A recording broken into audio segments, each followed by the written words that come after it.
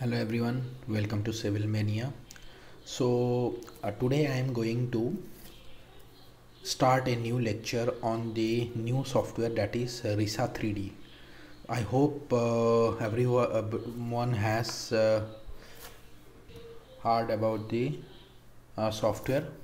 So actually uh, this software risa 3d is actually a one type of I'll show you. This one is the Risa 3D and uh, I have the tutorial PDF of this software. Actually it is a one type of uh, structural analysis three-dimensional software. So its full form is a rapid interactive structural analysis 3D three-dimensional okay?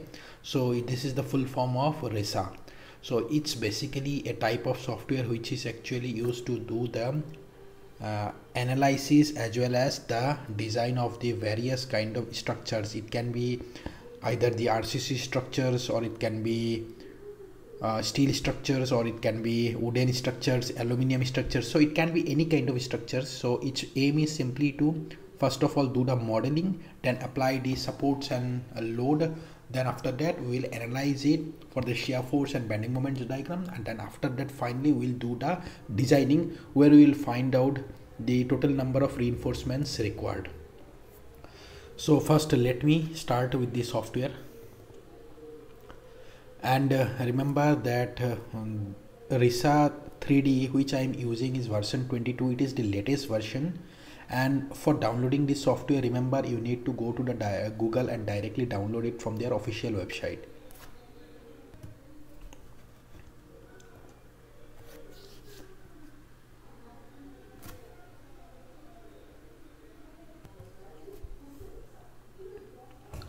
And uh, uh, if you'll go to the uh, its official website they will be providing you the uh, free version such as I am using it here.